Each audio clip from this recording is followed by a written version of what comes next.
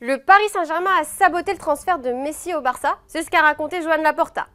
Lionel Messi a décidé de rejoindre l'Inter Miami pour la suite de sa carrière et devrait jouer son premier match le 21 juillet prochain. L'Argentin était tout proche de faire son grand retour au FC Barcelone alors qu'il était libre de tout contrat après ses deux saisons passées au PSG. Messi au Barça, c'était le rêve de tous les supporters du club catalan et c'était également le souhait du président du club qui a travaillé dur pour que ça puisse se faire. Laporta se serait longuement penché sur le dossier Messi c'est ce qu'il a raconté lors d'une interview accordée au journal Mundo Deportivo. Joan Laporta a expliqué l'échec du transfert du septuple Ballon d'Or au Barça et désigne le Paris Saint-Germain comme responsable. Le joueur le voulait, le père le voulait, nous ne voulions pas de ce qui s'est passé la dernière fois et nous leur avons dit que nous serions limités par le fair play financier. Puis après un temps, tout le contrat a été bouclé. Laporta a bien expliqué. Jorge Messi a voulu venir pour me parler et nous a dit qu'il avait choisi l'Inter Miami parce qu'il avait passé des saisons très difficiles à Paris où il subissait beaucoup de pression alors qu'à Miami, il serait plus calme et pourrait penser à l'équipe nationale. Le président barcelonais explique aussi que Léo Messi ne voulait pas passer une autre saison avec la pression du Barça et qu'aujourd'hui il travaille sur un super hommage à faire à l'Argentin, lui qui a tellement apporté au club.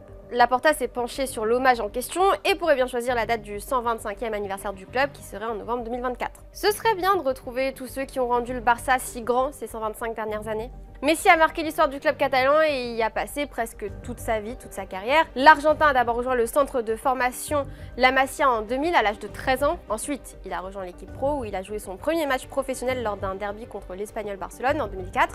Et depuis, l'Argentin a brillé avec le club où il a tout gagné. Outre Messi, Laporta s'est également exprimé sur son rival de toujours, le Real Madrid. Et selon lui, actuellement, le Barça est une équipe plus forte que les Madrilènes. Nous avons une meilleure équipe que Madrid et individuellement, nous sommes également meilleurs avec une certaine différence euh, sur nos rivaux. En tant que sociaux et supporters, je suis très satisfait de l'équipe que nous construisons. Le Barça connaît en ce moment des difficultés financières, mais cela ne l'a pas empêché de faire de très bons coups. Les Blaugrana ont d'une part enregistré l'arrivée d'Ilkay Gundogan, libre de tout contrat, lui qui venait de Manchester City. D'autre part, Inigo Martinez les a rejoints, lui qui venait de l'Athletic Bilbao. Et ce mercredi, le club a officialisé la venue d'une pépite brésilienne de 18 ans du nom de Vitor Roque, l'attaquant de l'Atlético Paranense, qui restera après une saison pour enfin rejoindre la Catalogne en 2024-2025.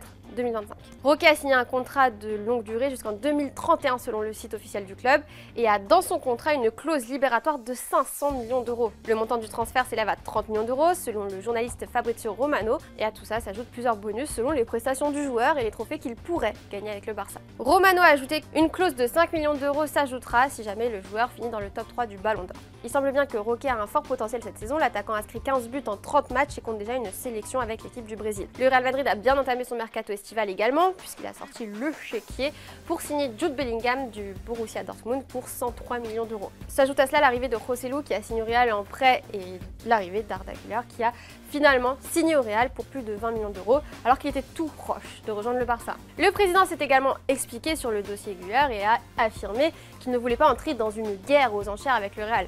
Nous avions un accord avec le joueur et nous étions prêts à payer 17,5 millions d'euros. Mais d'autres clubs, comme le Real Madrid, sont arrivés et ont payé beaucoup plus. C'est à ce moment-là que nous avons pensé qu'il ne fallait pas entrer dans une guerre d'enchères. Nous aurions pu entrer dans une guerre d'enchères pour Güler, mais nous avons décidé de ne pas le faire. Le Barça a une saison en demi-teinte, même s'ils ont remporté la Liga, les Catalans ont été plutôt décevants en Europe. Le mercato sera l'occasion pour eux de se renforcer sur tous les postes. Le Real Madrid, quant à lui, prépare sa révolution en rajeunissant considérablement son effectif. Selon vous, qui fait un meilleur mercato pour le moment, le FC Barcelone ou le Real Madrid? Lâchez-nous vos avis dans les commentaires. Pourquoi Cristiano Ronaldo est accusé de mentir? On part en Arabie Saoudite prendre de ses nouvelles et des nouvelles de Benzema. Le pays du Golfe veut devenir la nouvelle destination du football et reste donc à l'affût des joueurs les plus importants de la planète foot. Le championnat a déjà choqué le monde entier avec le transfert de Cristiano Ronaldo et celui de Karim Benzema pour ne citer que. Et ça tombe bien, car mardi était la première séance d'entraînement de KB Nueve et de ses coéquipiers. Lors de cette séance, on a pu apercevoir le Ballon d'Or 2022 accompagné de N'Golo Kanté ainsi que la jeune recrue portugaise de 24 ans provenant du Celtic FC qui a signé un contrat jusqu'en 2026 pour un transfert d'environ 30 millions d'euros. Les joueurs ont effectué une séance de conditionnement physique et d'endurance sous les ordres de Nuno Espirito Santo, qui a notamment travaillé en Première Ligue pour Wolverhampton ou encore Tottenham. Une grosse saison attend Karim Benzema et ses coéquipiers, alors qu'Al jouera sur plusieurs tableaux, avec le championnat, la Ligue des champions de l'AFC et la Coupe du monde des clubs de la FIFA. Si Cave a déjà commencé l'entraînement, son prochain rival Al Nasser, se préoccupe plutôt d'autre chose. Cristiano Ronaldo a officiellement lancé sa nouvelle marque d'eau, Ursule 9, et il en fait actuellement la promotion. Le Portugais a publié plusieurs vidéos de lui faisant une séance de musculation et se désaltérant en buvant cette fameuse eau. Cependant, CR7 a fortement été critiqué sur sa nouvelle marque. Le joueur avait déclaré lors de sa présentation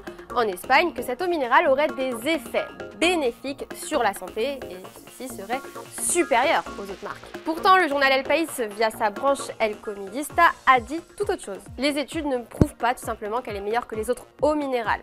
En plus de ça, cette eau devait provenir d'une source située à Avila en Espagne et cela serait totalement faux. Elle proviendrait plutôt d'un lieu situé au Portugal. Pour le moment, cette marque n'a pas encore été lancée sur le marché, mais elle pourrait se vendre deux fois plus cher que les eaux minérales traditionnelles. Voilà un mauvais début pour CR7 qui voulait lancer sa propre marque d'eau. Parlons maintenant un peu de Mercato. Le feuilleton Mbappé a animé l'actualité football pendant plusieurs semaines, mais du côté de l'Angleterre, c'est plutôt le feuilleton Harry Kane qui tient en haleine le public.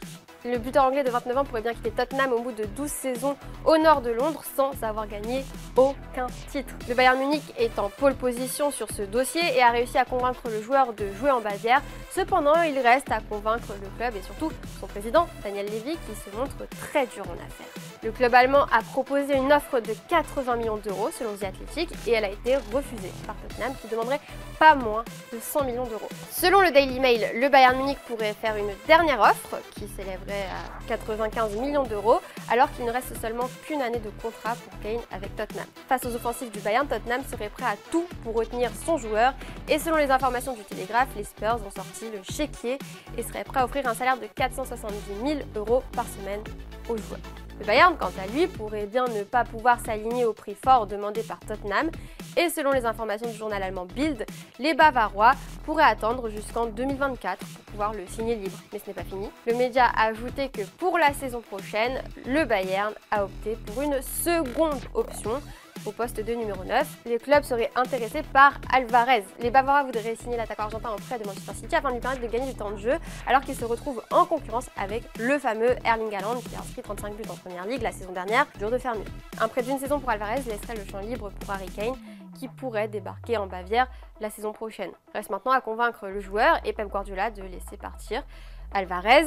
Le plan du Bayern risque de tomber à l'eau puisque selon les informations de Tick Sports, Alvarez compte bien rester à Manchester City. L'objectif joueur de 23 ans serait de concurrencer Erling Haaland au poste d'attaquant. Pensez-vous que la décision d'Alvarez de concurrencer Haaland est la bonne décision pour lui ou voudrait-il mieux qu'il rejoigne le Bayern Munich?